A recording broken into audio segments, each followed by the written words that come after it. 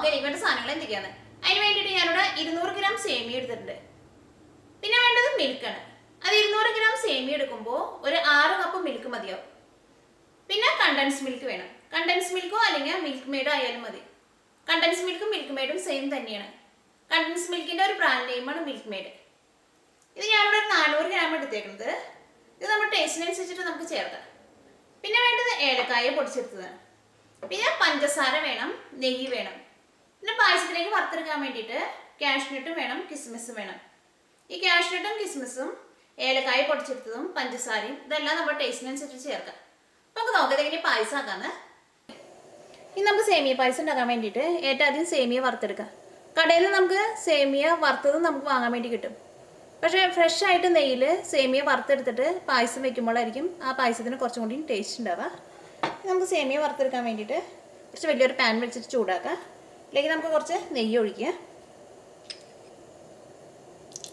നെയ്യിൽ വേണം സേമിയ വറുത്തെടുക്കാൻ വേണ്ടിയിട്ട്. ഈ ചൂടായ നെയ്യിലേക്ക് നമുക്ക് സേമിയ ഇട്ടിട്ട് വറുത്തെടുക്കുക സേമിയ ചേർക്കുമ്പോൾ ഒരു മീഡിയം ഫ്ലെയിമിലിടുക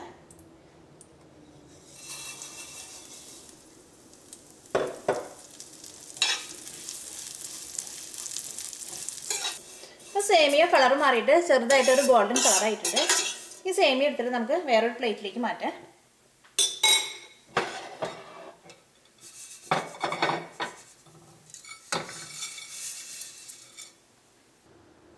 സേമിയോ വറുത്തെടുത്തത് റെഡി ആയിട്ടുണ്ട്. ഇനി നമുക്ക് പായസം ഉണ്ടാക്കാം. അതിന് വേണ്ടിയിട്ട് ഈ സെയിം പാനിലേക്ക് തന്നെ നമുക്ക് മിൽക്ക് ചേർക്കാം.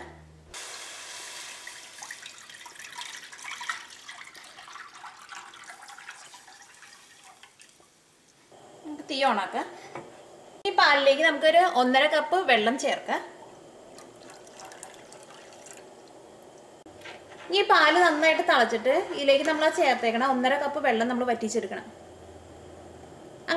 പതുക്കെ ഒന്ന് വറ്റിച്ചെടുത്ത് കഴിഞ്ഞിട്ട് നമ്മൾ പായസം ഉണ്ടാക്കുമ്പോഴായിരിക്കും പായസം കുടിക്കാൻ വേണ്ടിയിട്ട് കുറച്ചും കൂടി നല്ല ടേസ്റ്റ് ഉണ്ടാവുക. ഈ പാൽ നന്നായിട്ട് തിളച്ച് കഴിഞ്ഞ് കഴിയുമ്പോൾ ഇതിലേക്ക് നമുക്ക് പഞ്ചസാര വെക്കാം അത് കഴിഞ്ഞിട്ട് ഇതിലേക്ക് നമ്മൾ ചേർത്തേക്കണം. ഒന്നര കപ്പ് വെള്ളം കൂടിയും വറ്റിച്ചെടുക്കുക. അത് കഴിഞ്ഞിട്ട് ഏറ്റവും ലാസ്റ്റ് നമുക്ക് സേമിയ ചേർക്കാം. സേമിയക്ക് വേവ് വളരെ കുറവാണ്.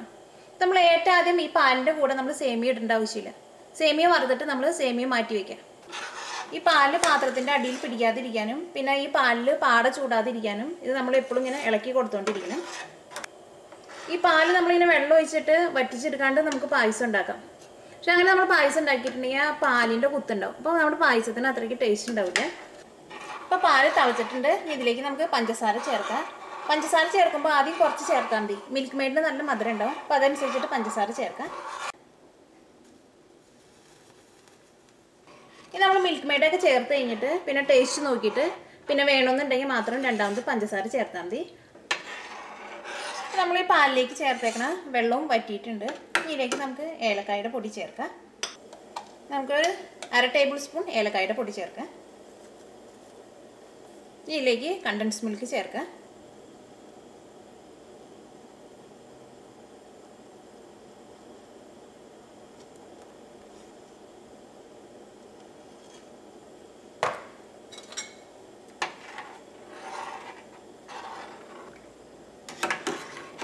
നമുക്ക് ഇതിന്റെ ടേസ്റ്റ് നോക്കിയിട്ട് കണ്ടൻസ് മിൽക്കോ അല്ലെങ്കിൽ മധുരമോ കുറവുണ്ടെങ്കിൽ രണ്ടാമതും ചേർക്കാം ഈ പാൽ ഒന്നും കൂടി നന്നായിട്ടൊന്ന് തിളച്ച് കഴിഞ്ഞ് കഴിയുമ്പോൾ ഇതിലേക്ക് നമ്മൾ വറുത്ത് വെച്ചേക്കുന്ന സേമിയ ചേർക്കാം ഈ പാലട പ്രഥമൻ ഉണ്ടാക്കുന്നതും ഇതേപോലെ തന്നെയാണ്. പക്ഷേ പാൽ ഒന്നും കൂടി നന്നായിട്ട് വറ്റിച്ചിട്ട് പാൽ നല്ലൊരു പിങ്ക് കളറാക്കും അത് കഴിഞ്ഞിട്ടായിരിക്കും അതിലേക്ക് അട ചേർക്കുന്നത്.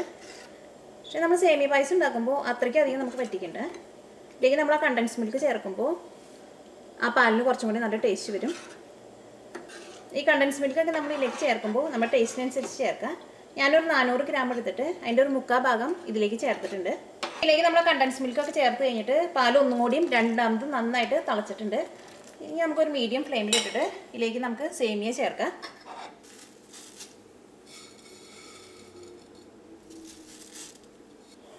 തീ നന്നായിട്ടൊന്ന് കൂട്ടി വയ്ക്കുക നമുക്ക് നന്നായിട്ടൊന്ന് മിക്സ് ചെയ്യാം.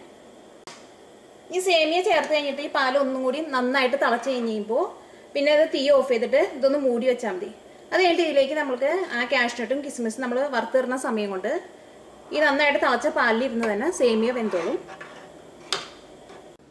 ഈ പാൽ നന്നായിട്ട് തിളച്ചിട്ടുണ്ട്.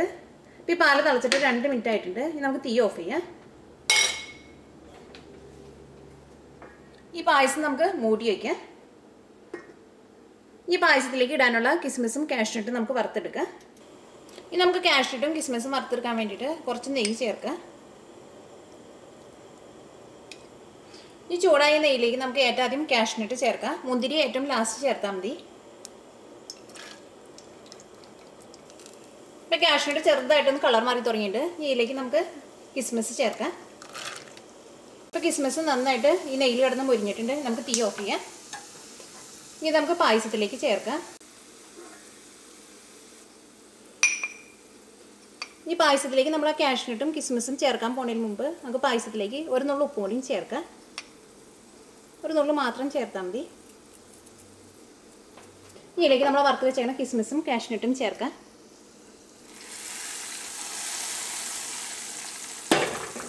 ഇതെല്ലാം കൂടിയിട്ട് നന്നായിട്ടൊന്ന് മിക്സ് ചെയ്യാം. ഇപ്പോൾ സേമിയൊക്കെ നന്നായിട്ട് വെന്തിട്ടുണ്ട്. നമ്മുടെ പായസം റെഡി ആയിട്ടുണ്ട്.